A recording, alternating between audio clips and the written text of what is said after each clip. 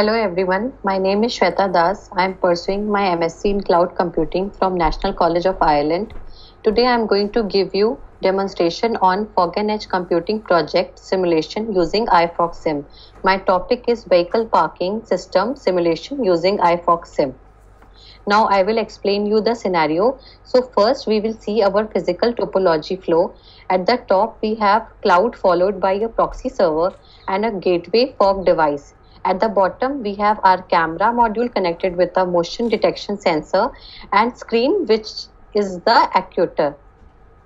Whenever a vehicle enters in parking premises for parking, the motion detector fitted in parking slots get activated and alert the camera to click the vehicle picture.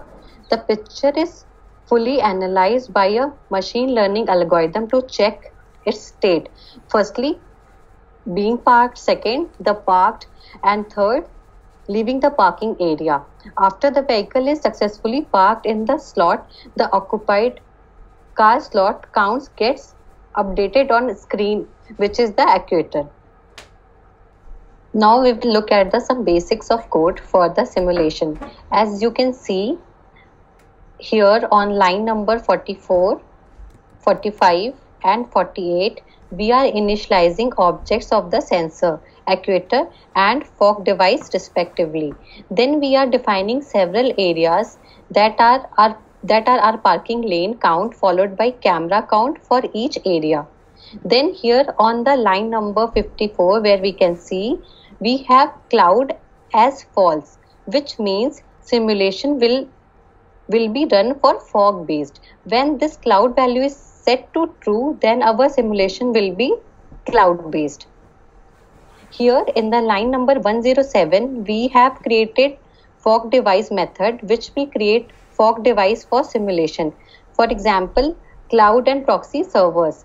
Here we are initializing cloud having parameters such as uh, MIPS, RAM, uplink, downlink, uh, placement level, busy power rating, and idle power rating. Similarly, for proxy server, we are defining the parameters. In line 127, we have created area method which will create an area for simulation like parking lane count and create 8 camera for simulation using create camera method in line number 147 here which we are seeing.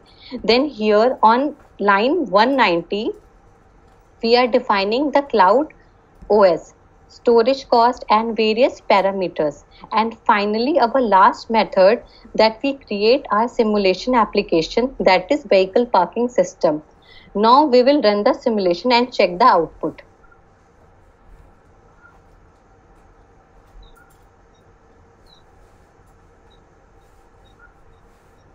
So as you can see, this is the output which we can see after the program is run. Now we will analyze the graph of execution time for fog-based versus cloud-based placements. As shown in the figure, here we can see the execution time for fog-based placement increases exponentially as the number of camera were increased. Whereas the execution time of cloud-based placement is far less than fog-based placement. This happens due to a lot of device intercommunication at the fog layer. Now moving on to the, our second graph. Now let's see the cost of execution on cloud-based versus fog-based placement. For four configuration that is for area 1, 2, 3, 4 and 6. It can be seen that fog-based placement is much cheaper than cloud-based placement this is because of the higher cost of execution for cloud MIPS usage and the cost of running instances for computation in the cloud. For configuration, the cost is almost double for the cloud than that of fog-based placement, which is clearly visible here. Now moving on to our third graph. By looking at the energy utilization graph, here which we can see in the graph, it can see that energy consumed by the camera is very high for fog-based placement than cloud-based placement, whereas proxy server and gateway consume constant energy for every configuration. for data center energy minor increase in the graph after configuration 2 which we can see here that is after increasing the area count to 4 and 6. Now moving to the fourth graph which is for average latency. So here in average latency graph we can see the cloud based placement has shown higher delay than fog based placement which goes on increase when configuration were increased whereas, whereas in the fog the latency is constant across all the configuration that is 704 milliseconds which we can clearly see here in the graph on 704 milliseconds it's it's constant now moving to our last graph which is uh, for network utilization for network utilization graph, cloud-based placement consumes more energy since every small piece of data is transmitted over the cloud.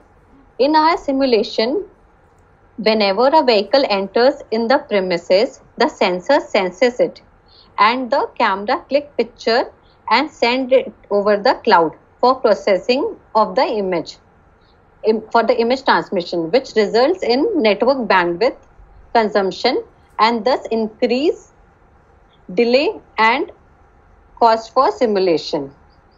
So overall, looking at the code and all the graphs, we can conclude that in the end, it would be the fog-based placement will result in optimal usage of resources at significant low cost.